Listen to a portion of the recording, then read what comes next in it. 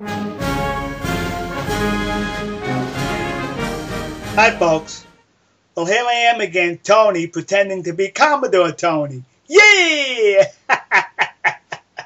you know how? I mean, it's amusing what's going on in the Southern Ocean. Sea Shepherd is trying to locate the Japanese fleet, but instead, one of the Japanese ship has located Sea Shepherd, and there's been a cat and mouse game going on. So, to my good friend Captain Kangaroo, Howard. Hi, Anthony.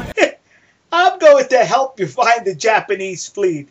Yeah! Let's to- let's together, folks, look and find the Japanese fleet. Because while you're playing cat and mouse with that one uh, Japanese whaling ship, they're out having a good time slaughtering the whales and harvesting them. so I'm going to help you find them. Let's see. Golly, could that be them? No, that isn't them. no, that wasn't them either. There they are. That's a fleet, okay, but that's not the fleet we're looking for. No, that wasn't them either. Let's see, perhaps over here. I bet you they're behind that ass boy. What do you think, kids? Listen, Captain, I try to help you find them, but I'm not successful at that. You know, past whaling seasons, Sea Shepherd has complained that the Japanese use a water cannon on us. Yeah! Well, if you did not get close enough to this ship, it would not affect you. But it seems like Sea Shepherd has learned the tactic from the Japanese because now Sea Shepherd is using a water cannon, and that's okay, kids. Look.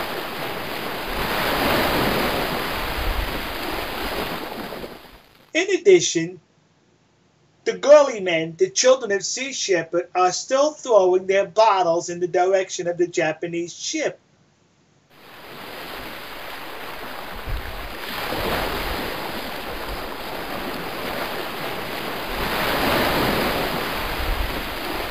You can debate all you like whether it's harmful or not, the contents of those bottles, but you cannot debate the fact that broken bottles on the deck of a ship is hazardous. And that's what Sea Shepherd is creating there. Plus, Sea Shepherd is now using a laser device. Yeah! They entered the Intergalactic Federation, says they. According to a website that's friendly to Sea Shepherd, they're using something called a photo, photonic disruptor. おります、 はい、レーザー光線を当てておりますカメラを妨害しようとしているのでしょうか、えー、必要、えー、レーザー